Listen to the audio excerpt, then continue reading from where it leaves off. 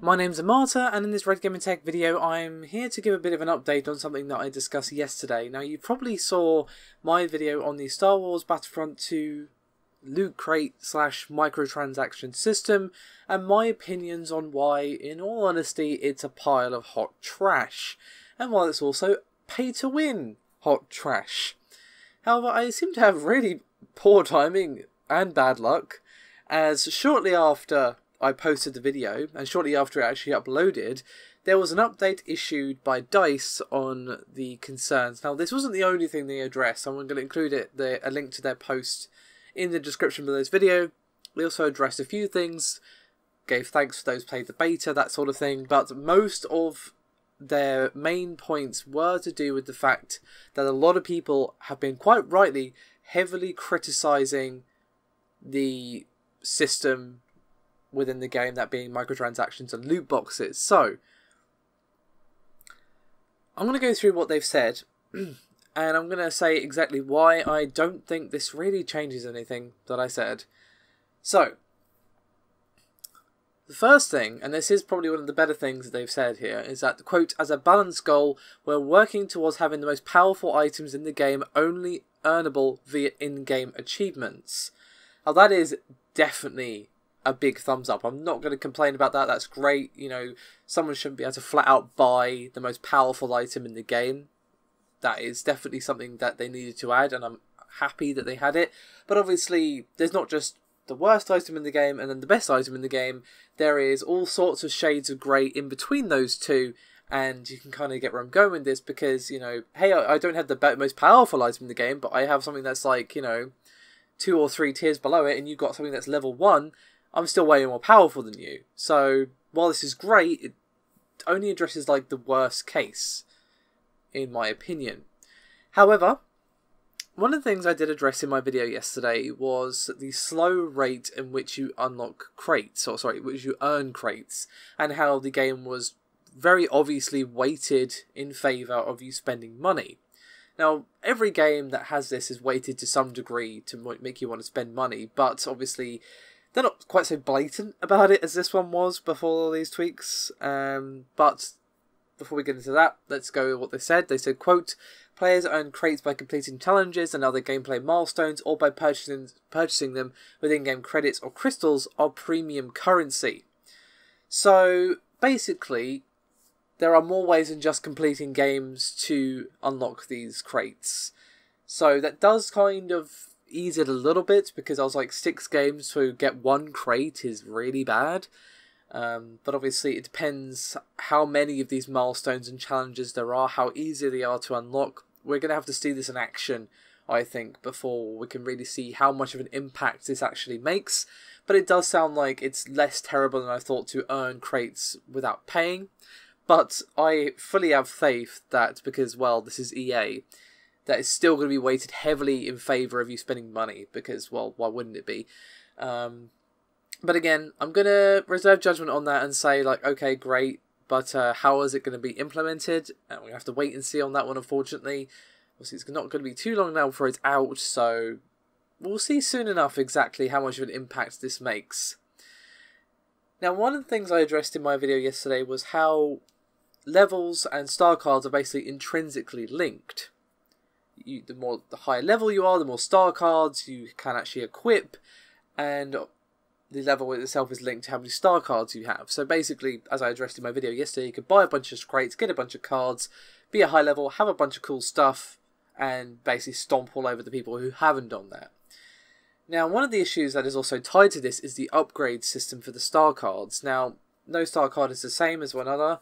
The level 1 of the same card is not going to be as good as level 4 of the same card, for example. Um, there's a card for Boba Fett. Um, the level 1 is 50% less damage taken while doing his Rocket Barrage move, but the level 4 is 100% damage reduction. I'm sure you could argue that being invincible is pretty damn good, but it does seem that they are making you have to earn the right to be able to upgrade your star cards and unlock most weapons, and quotes you can only upgrade or unlock them if you have reached a high enough rank which is determined by playing the game. So basically, it doesn't stop someone from equipping a bunch of star cards, but it does kind of stop someone from just upgrading these star cards to the highest level without even having played the game, and then obviously stomping all over you. So basically, what this all comes down to is that the system is less terrible. But in my opinion, it's still pretty damn terrible. Because the core of the issue is still there. You still have progression being done through random loot crates. The fact that you can earn them through play is great, but the items you need to get stronger, more powerful, level up, progress, all that is completely RNG.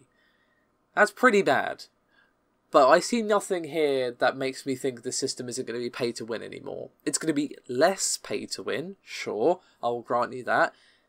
But it's still going to be pay to win. Even a little bit of pay to win is bad. Even if this game was free to play, I would still be like, no, this is bad. And the fact that this is a full price AAA game makes it even worse. So yeah, they've they've tweaked. They're going to tweak it. They're going to make it less of an abomination, but it's still pretty horrible in my opinion. These improvements are great, but they don't go far enough, and in my opinion, they should not be linking progression to random loot drops. That's pretty bad. Um, I'm looking forward to seeing the complete system in the full price game. Of course, we did not see everything the game had to offer in the beta. By no means did we see everything. So I'm going to hope that they're doing more than they're saying here, and we're going to see a radically revamped system when the game releases. But I have a feeling that it's going to be the same system, just with these tweaks in mind, and it's still going to be pay to win, and it's still going to be leaning towards, hey, it's way faster for you to pay up, and it's still going to be like, why are microtransactions in my full price game, and why are they also giving me a direct advantage over other players who aren't? Like, I get that they're not doing DLC and a season pass this time, which is great after the clusterfuck of last time. I think that was exactly the right move. But you don't have to go this way. Like, I don't understand why they're not just doing cosmetic items. Like, that would be, like, amazing for this game. Like, people would pay top dollar for, like, a golden stormtrooper outfit or whatever. People say, oh, it's not canon. Like, none of this game is canon. You could have Rey fighting Darth Maul, for goodness sake. Canon went out the window the second that happens. So I don't buy that for a second. Maybe it's Disney's influence. Maybe they don't want people getting confused or whatever. But that would be way better. I'll be like way more happy if this was just like, hey, you get cool cosmetics, cool skins for your gun, or different color lightsabers, or whatever. Instead, we get gameplay affecting stuff in a heavily multiplayer focused game. These tweaks are great, but they don't go far enough, and as I said, they don't really address the core of the problem, at least in my opinion. So there you have it. That's my updated opinion. Really poor timing um, on my part and their part. Really unlucky as well. Obviously, I don't think they even know I exist, so you know there is that. Um, but I don't think my points have really changed much, to be honest. Everything I said in that video is still relevant. It's just slightly less relevant in some cases, and not even all the cases, because I'm not seeing anything here that makes it seem like it's not pay to win anymore. But uh, again, we're gonna have to see in the full game. I'm keeping my eyes on this one. I doubt I'll get code for it, but I'll try. So, uh, see what you guys have to say on that. Let me know your thoughts. Uh, the link is in the description below if you want to read their post. Thank you very much for watching, and I'll see you next time.